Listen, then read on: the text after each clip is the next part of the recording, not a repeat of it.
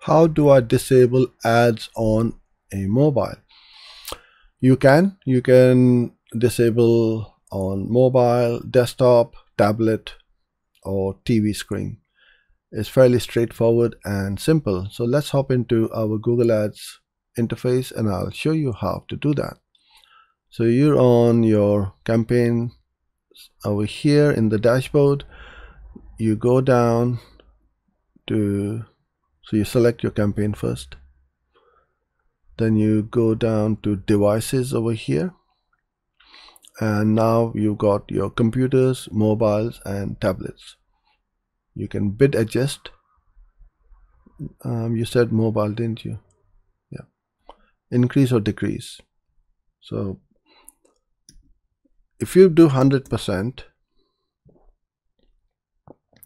that means it is not going to run on any of these devices.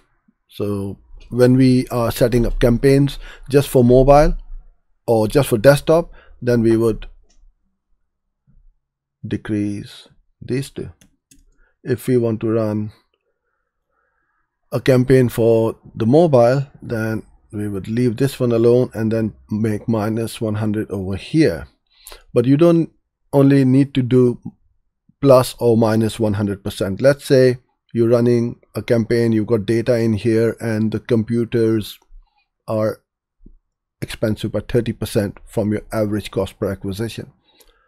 So what you can do is you can come back in here on a weekly or monthly basis depending on how much budget uh, daily budget you're spending if you're spending under $50 a day I would do this once a month but if you're spending thousands every day, then you need to keep an eye on it on a regular basis. So I would then just decrease this by 30% so that to bring it in line with our account level uh, average conversion rate. And you can do the same thing for mobiles and for tablets.